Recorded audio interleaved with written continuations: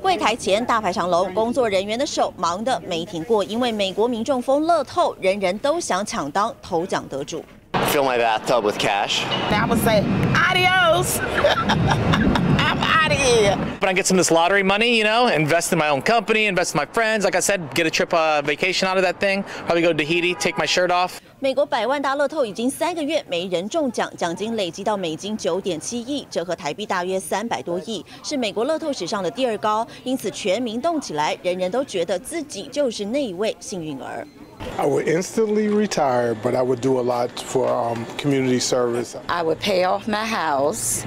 And of course, I would, you know, help, you know, my family, my friends. 除了美国公民，合法居留在当地的外国人也可以下注。只是如果中奖，扣除的联邦税高达百分之三十，比一般公民高出百分之六。谁能成为超级幸运儿？台湾时间二十号就会揭晓。另外，泰国有位幸运妈妈，因为女儿随手抓了两张彩券，紧紧不放，妈妈只好无奈买下其中一张。结果这张彩券居然中了头奖，奖金高达六百万泰铢，大概是六。百零八万台币，妈妈只说女儿真的是她的财神爷。谢谭若仪综合报道。